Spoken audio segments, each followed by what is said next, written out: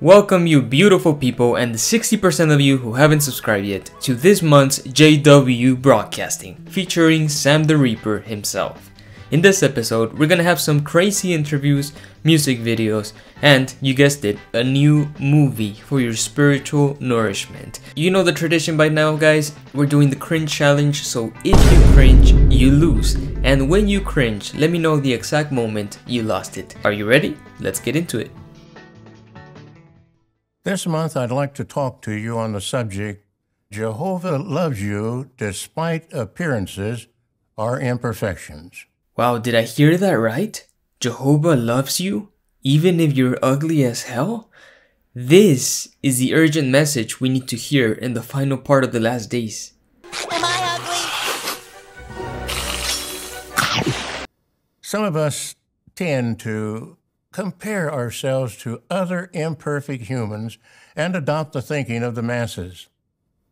Movies and television have blinded many to reality, making them feel that the beauty of the human body must look like the handsome and beautiful movie stars and famed athletes. Hmm, is Watchtower going to provide some practical advice on body positivity, or is this just gonna devolve into another governing body circle jerk? However, please be assured that Jehovah loves us despite our physical appearance. How would you know that, Sammy? I mean, maybe Jehovah holds on to the beauty standards of a 19 year old aspiring TikTok influencer. Beauty is only skin deep. It fades with time. Just look at a picture of yourself when you were, let's say, 17, and then look at one when you are in your 80s. You say, That's not me. Oh, yes, it is. Of course, he couldn't resist posting a photo of himself. We should frame it and hang it on the back of every single Kingdom Hall. You are a precious bird who has come to know and love Jehovah. He loves you not because of your appearance, being handsome, drab looking, short, heavy, skinny, bald, beautiful, less than beautiful, having warts. The jokes just write themselves. Samuel Herd is so poetic. Maybe you say, I'm crippled in both feet. I have a trouble walking. I feel dead inside. You know that clip has to go into the meme pile. You're not the first servant of Jehovah to feel that way. Mephibosheth evidently felt that way. He too was crippled in both feet. If you have a physical impairment or defect, you're not dead but very much alive in Jehovah's eyes. Yeah, yeah, you might be alive in Jehovah's eyes, but if you have a walking impediment, don't even try to sign up for the next year's special conventions. Jehovah loves you, but he just doesn't love you enough to have you in this special event, okay?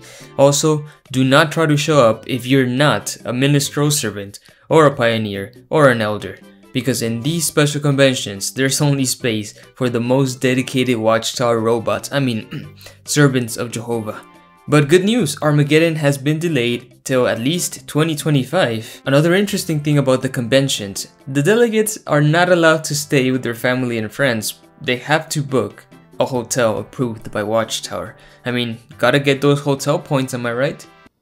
Now let's talk about Jehovah's love for us despite our imperfections. If you're a human, you're imperfect. Sorry, that's just the way it is. Adam passed imperfection on to all of us. This is the solid spiritual food that the governing body brags about? Why are we always devolving to the most basic watchtower doctrines? God's name is Jehovah, Jesus died for your sins, we're all imperfect, yada yada, send us money, please. Being imperfect, we will all make mistakes. We all do without exception. You'll be embarrassed at your imperfect reaction at times, but it happens. Jehovah knows our condition. He knows what Adam handed down to us, yet he still loves us despite imperfection. It really is not our fault. Oh, brother, this guy stinks! I'm sorry, Sammy the Whammy. I don't think you're fit for public speaking anymore. I mean, were you ever fit for public speaking? I don't know, but you're as charismatic as a piece of toast left out in the sun. You're an idiot. You're boring. So the humans will be able to enjoy not only perfection as to faith and love, but perfection as to sinlessness. Of course, uh, perfection at that time does not mean an end to variety, as some persons often assume. No one assumed that, ever. The animal kingdom, which is the product of Jehovah's perfect activity, contains enormous variety. Yeah, variety that arose naturally over billions of years through natural selection. I mean, even if you want to ascribe all of this to a creator, I wouldn't call this perfect design by any means. Our perfect earth is likewise filled with variety, change, and contrast. It allows for the simple and the complex. It's funny when authoritarian religions pretend to embrace diversity, as if they didn't violently react to any subtle form of dissent. Perfect humans will not be stereotypes with identical personalities, talents, and abilities. May we all fully love and adore Jehovah and His Son, Christ Jesus, in return. Thank you, Brother Herd, for those encouraging reminders. We know our young people want to look good. Hey, I don't think we've seen this loser before. Donald Gordon. The name doesn't really roll off the tongue. Donald Gordon had a farm. Goodbye, little sheep. But how do you avoid becoming obsessed with how you look? That's the topic of the next episode of the series, My Teen Life. Damn, Watchtower really is doubling down on my teenage life bits. And I'm glad because they're cringe as hell. Oh, most definitely I felt awkward. I didn't wear my clothes a certain way, or I didn't have my hair kept a certain way. My dude, did your hair return invisibly? Um, I didn't wear the latest shoes. It can be really easy to get caught up on social media and trying to see what the new trends were, trying to see how others look. Should I look like that? Why don't I look like that? What can I do to look like that? That I paid such a high price for the body I was going after. I was going after unrealistic beauty standards. Talking about unrealistic beauty standards, have you noticed how Watchtower never uses chubby girls in their propaganda? No, like, I'm serious. We do get a couple of older women who are on the bigger side, but the younger sisters are always conventionally attractive. Hmm, I wonder why that is. Imagine if Jade and Nita were portrayed as 300 pound legends. I mean, that would be definitely more realistic, but it wouldn't sell. Jade, you haven't answered my DMs. Please marry me. It led me to being diagnosed with an eating disorder. Uh, focusing on my appearance too much affected me spiritually. Even though I was in service, even though I was uh, in meeting, even though I was present for family worship, uh, I wasn't focused. I Wait, why did they use a different dude for the stock footage? Or maybe bro can demelanize at will? uh, even though we may put so much effort into how we look on the outer appearance, eventually that's gonna go away. Something that has really helped me is giving myself time in the day to get off of social media, get off the internet, and giving time, dedicate time to Jehovah. I unfollowed models and influencers that made me feel more insecure about myself, and I would study Bible characters of the past, such as Abigail, Sarah, Ruth. Wait, no, this is terrible advice. Maybe you should learn not to be envious of other people instead of just sticking your head in the sand pretending they don't exist. And it seems unrealistic beauty standards have crept into Watchtower publications as well. There's no way Bible women would look this amazing living out in the desert. Letting myself be influenced by them was a game changer for me. What made them more beautiful to the eyes of Jehovah were their qualities, how they treated others, their personality, how they served Jehovah with loyalty. And how many children they could pump out for their husbands. You forgot to mention that. Knowing that I'm making Jehovah happy by helping others get to know him and making disciples is what makes me happy now. And as a pioneer, I finally was able to attend my first pioneer school in March of 2021 which was an amazing blessing from Jehovah.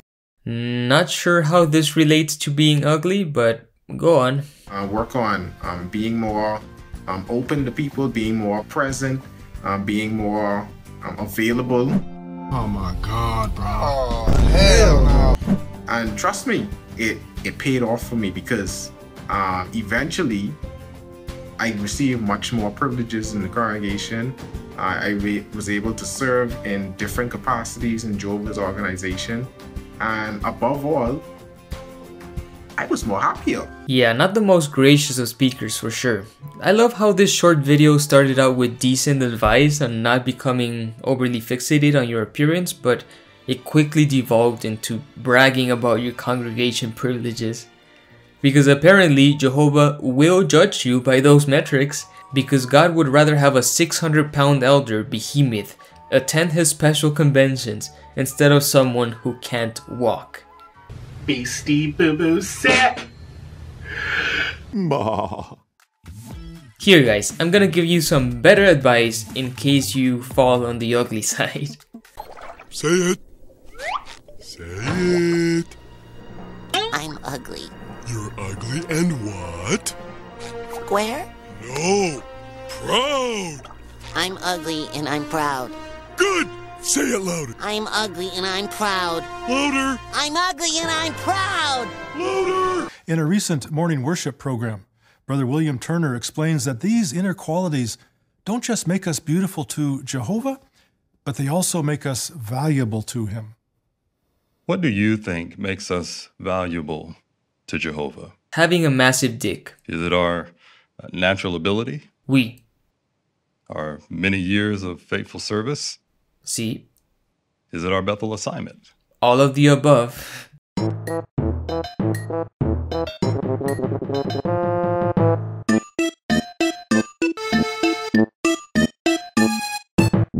What Brother Turner said is true. Jehovah values us and will give us what we need to fulfill our commission to preach, even if we feel we lack strength or natural abilities. Our music video this month is entitled He Knows Us. It reassures us that when we are discouraged or tired or afraid, Jehovah knows how we feel. Jesus. I always lose the cringe challenge with the pop songs. When we were woven in the depths of the earth, before we even came into this world, Jehovah saw right from the start deep down inside our beating heart. Just stop and think what that means. He knows you, He knows me, what we feel, what we see. When we try hard to give our best, the joys we feel and our regrets. Both of these books are already old light. Y'all remember this one before they changed the beautiful gold color to that ugly rat color? Hell, do you remember the red one? Which has this beautiful illustration of some failed prophecy. Oh, what's this? It's Mr. Washington. Truly food at the proper time. This reminds me, we just recently hit 50 Patreons on the community. You guys are the best. Because for only one of these bad boys, you can also gain early access to all my work. So please head on over to Patreon to support that cause. Alright now, back to the music video. The joys we feel and our regrets. He knows you, He knows me, what we need, what we plead. When we can't find the words to say we're not alone, He knows.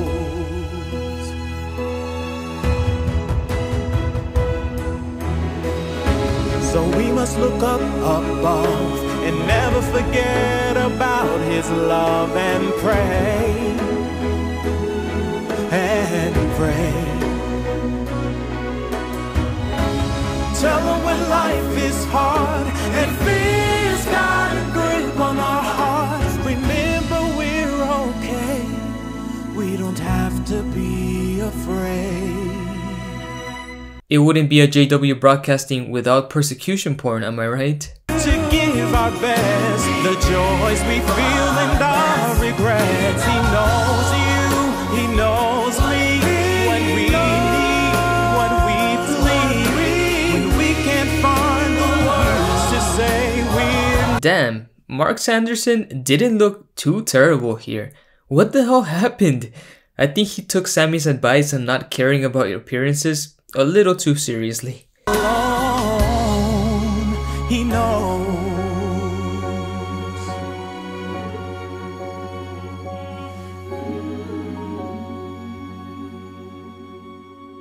And that wasn't too cringe, honestly, just a bunch of footage sewn together. You would imagine with the amount of begging they do, Watchtower would have the budget to shoot some new videos for this piece, but nah.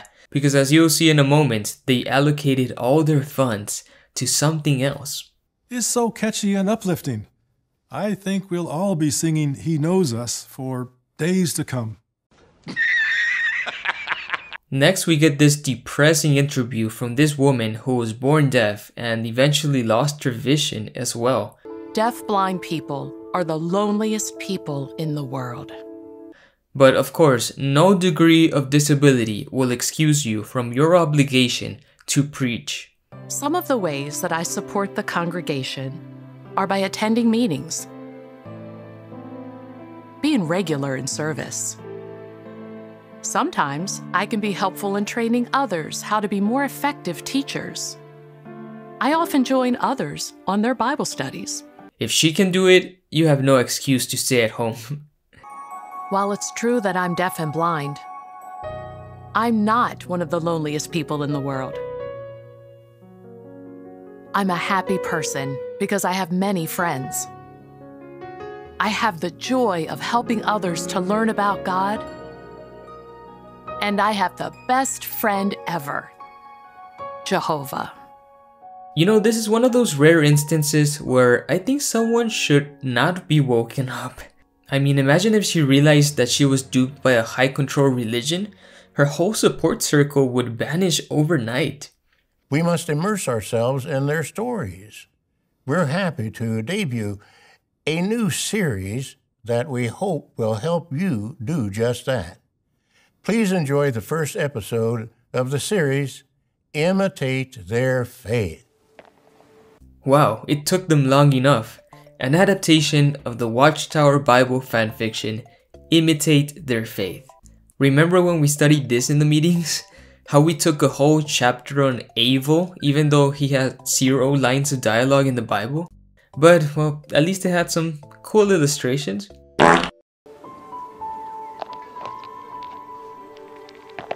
Abram, dinner's almost ready. Please tell Shem. We'll be right there, Mom. Well, Abram, before we go in, let me tell you the rest. I was just a young man back then. After Jehovah gave my father the command to build the ark, it took decades to complete.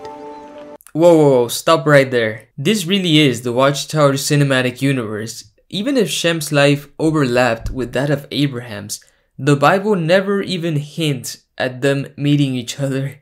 The movie barely started and we're already making huge assumptions. Then we had to gather food and all the animals. We had no idea how long we would be inside. But when Jehovah closed the ark's door,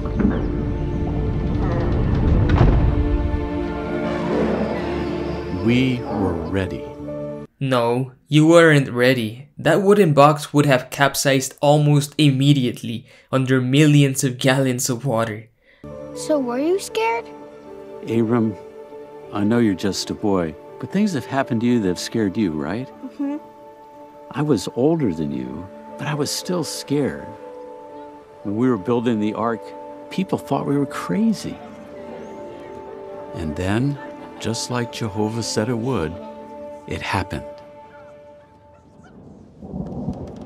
Ah, I get it now. So people today think Jehovah's Witnesses are crazy for predicting Armageddon for more than 100 years. But just like happened with Noah, they're gonna realize the errors of their ways and it's gonna be too late because the flood was 100% a historical event and not a legend adopted by Sumerian epics.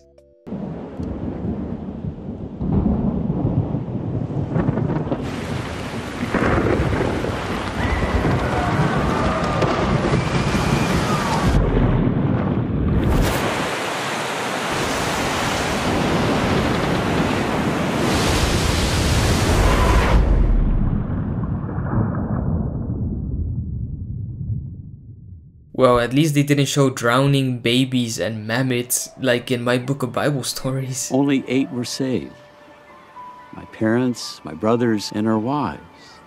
We are living proof that Jehovah's word never fails. Jehovah promised my father that he would never again destroy all life with a global flood. I want you to know I was scared, but I know to trust Jehovah. When Jehovah promises something that we've never seen, it takes a special quality to believe it. Do you know what that quality is? Believing things without evidence? Faith. Same thing.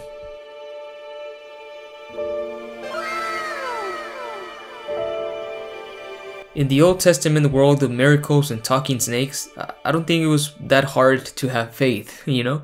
But it's too bad God ended the supernatural signs and wonders, but still expects us to blindly believe in Him. Abram and Sarai lived in Ur, a city full of people who worshiped pagan gods. But like Noah and Shem, Abram and Sarai worshiped Jehovah.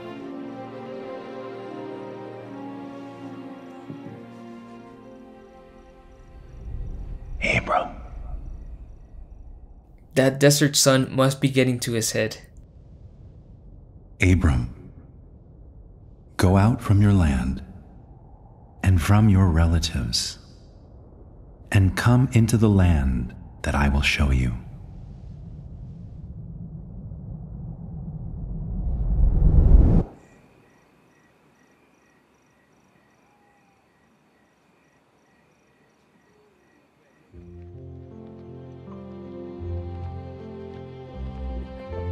Wait, is that Princess Leia?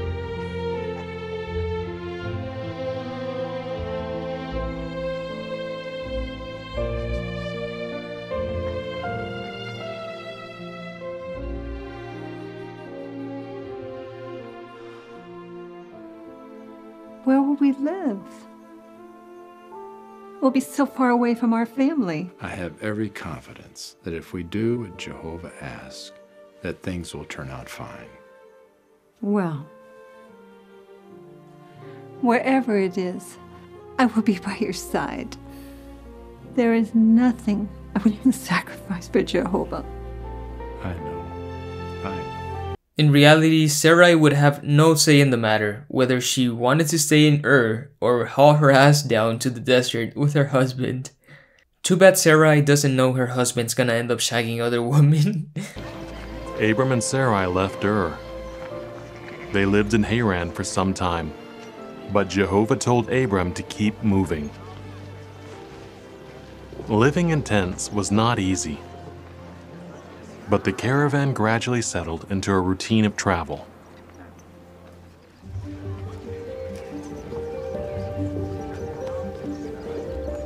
Abram's nephew Lot was like a brother to him. But as their flocks grew large, tension grew between their groups.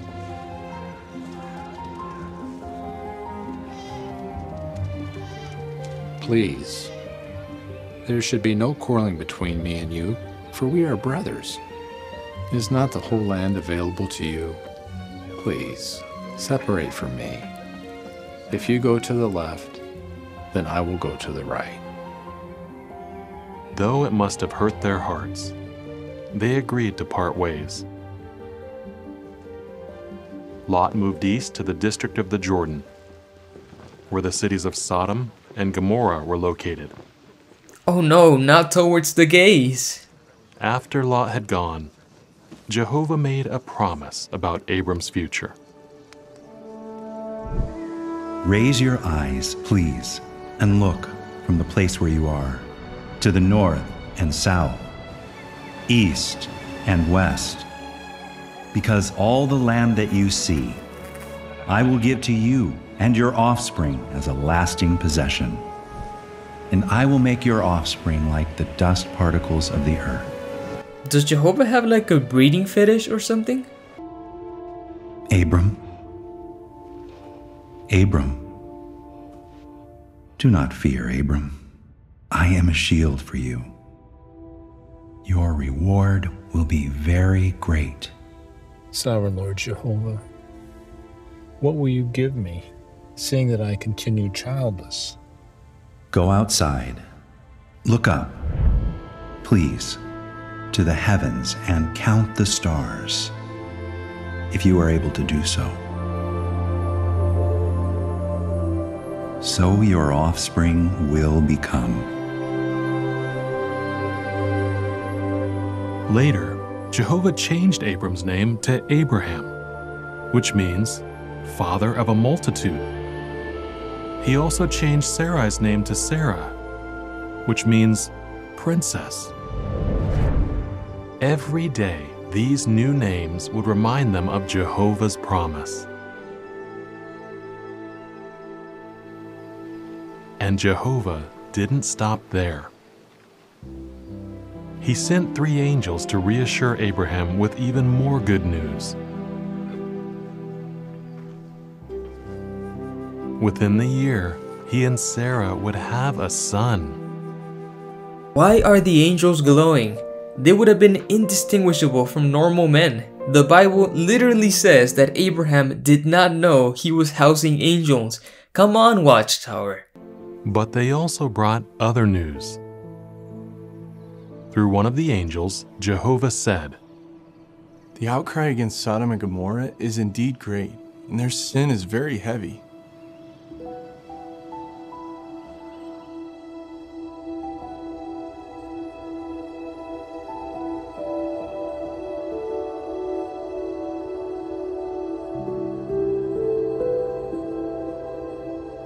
Will you really sweep away the righteous with the wicked? I wonder if they're gonna be using this guy to play Jesus in the upcoming films. I would bet my money on it. And it would expand the cinematic universe even more. It's unthinkable of you. Will the judge of all the earth not do what is right? If I find in Sodom fifty righteous men in the city, I will pardon the whole place for their sake. Please here I presume to speak to Jehovah, whereas I am dust and ashes. Suppose the fifty righteous should lack five. Because of the five, will you destroy the whole city?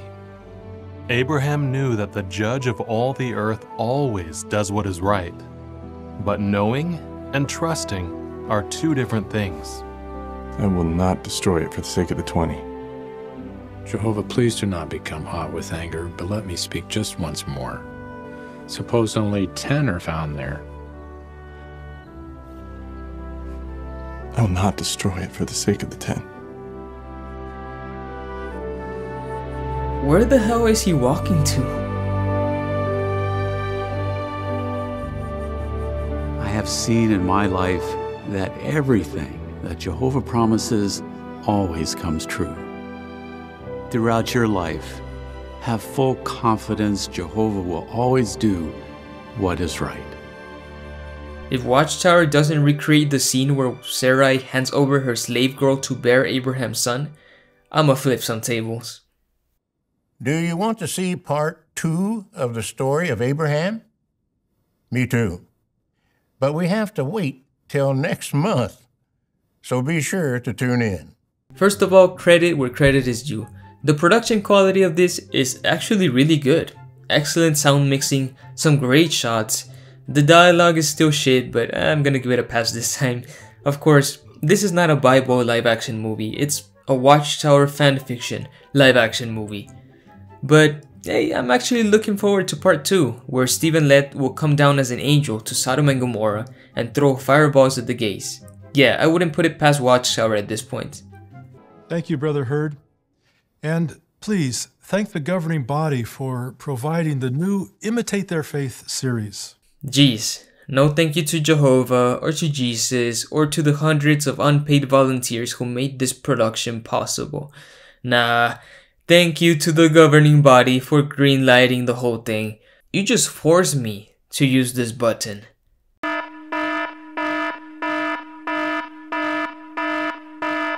And our propaganda for this month ends with a postcard from the beautiful country of Japan, where Watchtower brags about using a recent tragedy to convert people into their religion. The tsunami and resulting disaster had a big effect on those in the territory. Our brothers have done their best to fill the void that many are feeling with the Bible's message of hope. From the world headquarters of Jehovah's Witnesses, this is so guys, let me know what you thought of this broadcasting in the comments below and let me know the exact moment you lost the cringe challenge because I love reading your comments. As I previously mentioned, we recently hit 50 Patreons on the community. Guys, I'm so grateful, thank you so much. If you appreciate my work and would like to support my activism, please head on over to Patreon or become a channel member here on YouTube. It's only $1 a month, you gain early access to all my videos and you help me keep doing this for years to come. And don't forget to subscribe because I have some really fun projects coming your way. Thank you so much you guys, have a wonderful day and stay away from the tower.